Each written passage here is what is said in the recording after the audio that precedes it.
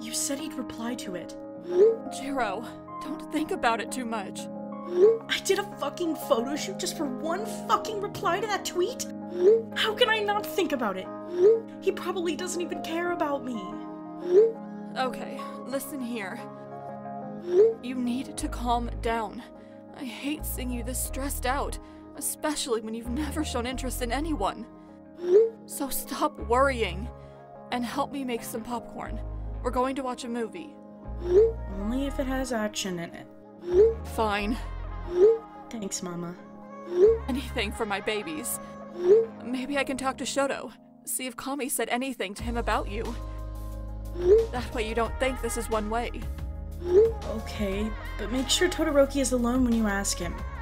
That way Kami doesn't think I'm desperate. Kyoka, you are.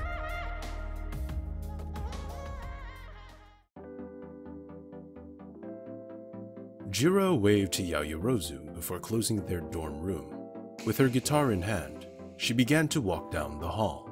Band was always a fun time, especially when Tokoyami wanted to practice. He was insane on the guitar, but a lot of the times he would be his depressed self and just play some dragged out chords. Today was different, however. He had a piece in mind that he wanted the group to try out. Jiro knew this would be fun. Kyoka! A loud voice called from behind her. Jiro turned her head to see a beautiful, dumb blonde sprinting to her location. Kaminari's hair was flowing behind him and stood up again as he slowed his pace and made his way closer to her. He was bent over, breathing heavily and sweating down his forehead. Did you just run a marathon? Jiro joked. She could see the smile form on Kami's face as he lifted his head to meet her eyes. They did have a sparkle. Momo was right. Oh, hey. Sorry, I was just passing by and.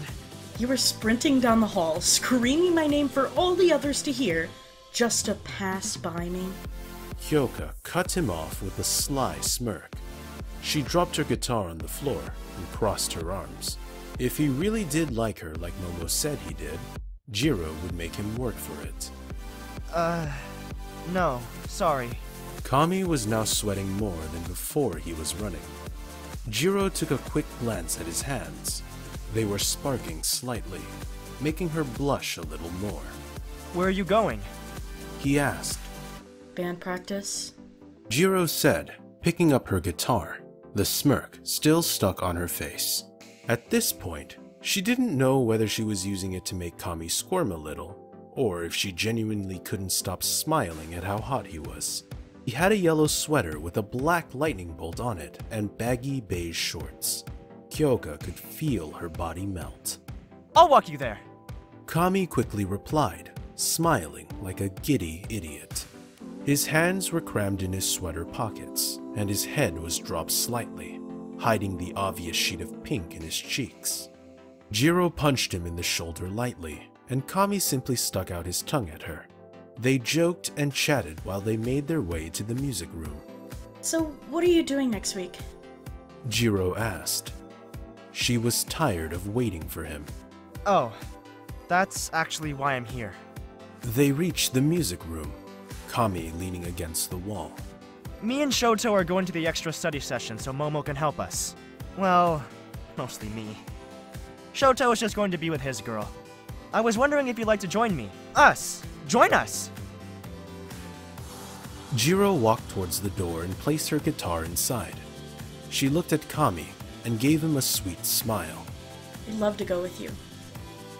She said, her face quickly heating up. Kami's did the same as he let out a massive held in breath. Awesome! I'll see you then! Kami walked away from the music room before turning his head back. And, by the way, that photo shoot. You look cute. He held up his fingers in a peace sign before turning the corner. Jiro's jaw dropped as she turned towards the music room, slamming the door behind her. She let out the girliest screech she had ever heard herself make and began laughing.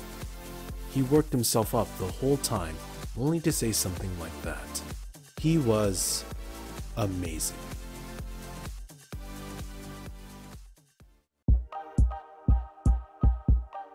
Whose music do I hear? It sounds awesome. That would be the band. We're practicing a new song that Tokoyami liked. And I'm not gonna lie, not what I expected. That earphone jack. Dark Shadow picked the song. It's not bad, right? At Eternal Darkness? You bet. I just didn't expect you to like the style of stuff, is all. Ooh, mon ami. What is the song? At Glamour Glamour, we ain't telling you shit. At Glitter Glamour, what Kacchan is trying to say is we're performing it after exams are done. Kind of like a concert. Oh, does that mean we have to wait until exams are over?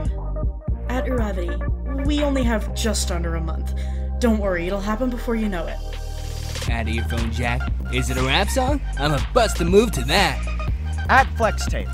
Dude, the last time you tried dancing was when Mina challenged you, and you face planted into the splits.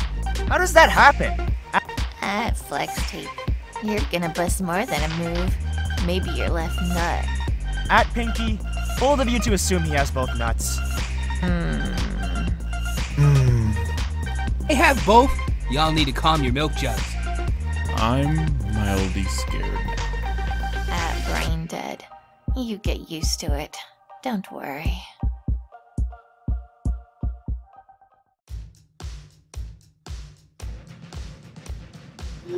That was a pretty good first band session. Yeah, Kyoka? Shinso? How do you get my number? Stole your phone and put my own number. Anything wrong with that? Um, maybe the idea of you stealing my phone? You literally could have asked, too. Sorry. I'll ask next time I want to steal it. Very funny. I'm glad you enjoyed the band. You're a pretty good bass player. Glad you think so. That is my contact name on your phone after all. Oh my god, it is. You're never getting my phone again. It was clever at the time, okay? What are you up to next Wednesday? We should get together and practice again. Normally, the band only practices on Sundays. Besides, I have a commitment already. Oh, come on. You want to see Bass Boy lob it up to his name, right? It'll just be one time. That way we can catch up more. I really can't, Shinso. Maybe another day? Please.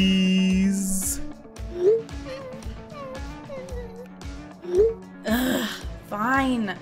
Wednesday at 3. Sounds like a plan.